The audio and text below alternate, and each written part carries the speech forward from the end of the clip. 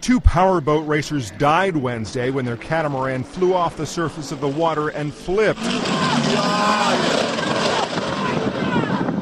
Big Thunder Marine was participating in the Key West World Championship. Oh.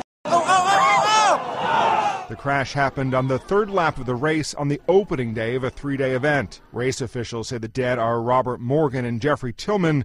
Morgan came out of retirement to race this year. A race official says the 1,200 horsepower boat was probably going 130 miles an hour at the time of the crash.